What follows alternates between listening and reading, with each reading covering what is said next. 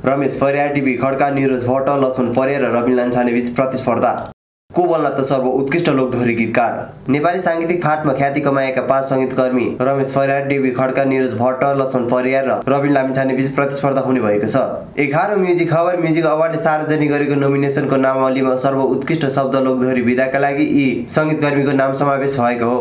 लोकधोरी तर्फबाट सर्व उत्कृष्ट बन्नका लागि प्रतिस्पर्धा गर्दैछन् रमेश परियार। उनी वनमा खैरा बोलको गीतबाट उत्कृष्ट पाचा परेका हुन्। गीतमा सूर्य खड्का र शान्तश्री परियारको स्वर तथा रमेश परियारको सङ्गीत रहेको छ। खाएर काजी श्रेष्ठको निर्देशन रहेको गीतको भिडियोमा विमल अधिकारी र करिश्मा ढकालको अभिनय रहेको छ। त्यसै गरी सर्व उत्कृष्ट गीतकार बन्नकी डिबी खड्का पनि अन्य चार गीतकारसँग प्रतिस्पर्धा गर्दैछन्। उनी अनिता चलाउने र रवि ओडले गाएको गीत कर्णाली पारीको बोलको गीतबाट उत्कृष्ट पाचा पर्न सफल भएका हुन्। गीतमा विनोद बाजुरालीको सङ्गीत रहेको छ।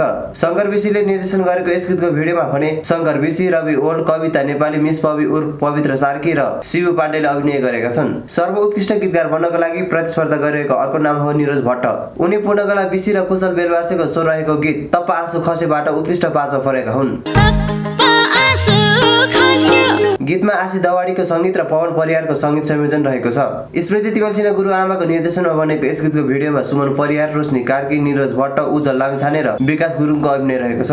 यसै गरी लक्ष्मण परियार पनि रुनलाई त हुने माया लाउने बोलको गीतबाट उत्कृष्ट पाँचो परेका छन्। राज सिगदेर र शान्तिश्री परियारको स्वर रहेको यस गीतमा श्रीकृष्ण बम मल्लले सङ्गीत भरेका छन्।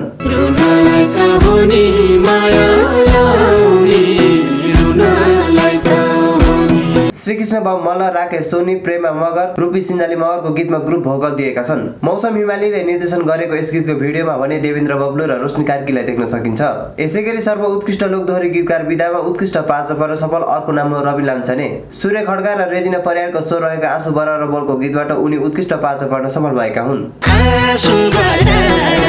रवि लामछानेको शब्द तथा सङ्गीत र निर्देशनमा बनेको यस गीतको भिडियोमा सुनिल सूर्य खड्का जुना गुरुङ लोम शर्मा र अस्मिता नलपालले अभिनय गरेका छन्। यिनी पाँच सङ्गीतकर्मीहरू मध्येबाट एकजनाले एघारौँ म्युजिक खबर म्युजिक अवार्डको अवसरमा सर्व उत्कृष्ट लोकधोरी गीतकार घोषित भई अवार्ड उचाल्नेछन् मनोनयनमा परेका मध्येबाट भोटिङबाट चालिस प्रतिशत आयोजकबाट दस प्रतिशत र निर्णायकबाट पचास प्रतिशतका मतका आधारमा अवार्ड प्रदान गरिनेछ।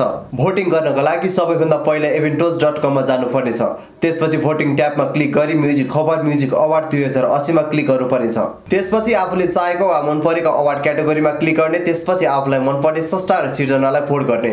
आगामी वैशाखको अन्तिममा आयोजना गरिने अवार्डमा गीत सङ्गीतको क्षेत्रमा सामाजिक कार्य गर्ने उद्देश्यका साथ स्थापित भएको म्युजिक खबर फाउन्डेसनको सहकार्य रहनेछ।